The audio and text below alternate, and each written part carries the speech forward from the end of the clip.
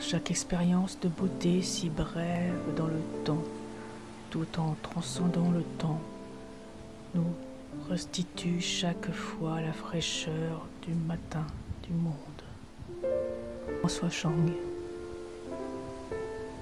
Mieux se connaître, s'écouter, s'aimer, s'accepter tel que l'on est, améliore ses relations avec les autres, de cet apprentissage permanent, loin de nous immobiliser.